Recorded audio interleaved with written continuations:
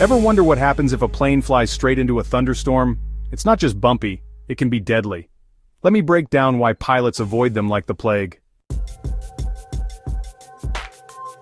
First off, modern airliners are tough, they're built to take turbulence, lightning, even a bit of hail. But a severe thunderstorm? That's another level.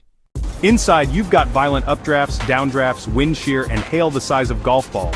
That can shake the plane, damage the engines, or worse, rip panels off the fuselage. Pilots use weather radar to steer clear. Thunderstorms can hide turbulence that slams a jet like a roller coaster, only you can't get off this ride. And it's not just the pilots, air traffic controllers are guiding planes like chess pieces, making sure planes don't fly into a thunderstorm trap.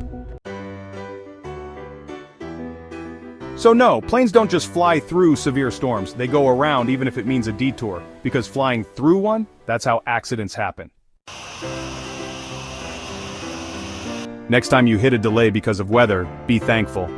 That detour could be saving lives. Like and subscribe for more aviation content.